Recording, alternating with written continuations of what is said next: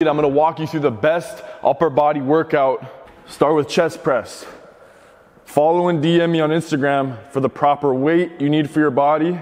Right after that, you're gonna go into dumbbells. Usually I like to lift it up and do incline, but this is fine too. Right after you do the chest press, you go into dumbbells.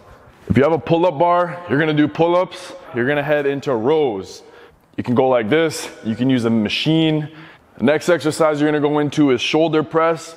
And right after you're done shoulder press, you're gonna do shoulder laterals. The laterals need to be controlled and at a slow pace. The last thing about the workout, I like to go for 150 to 200 reps of abs.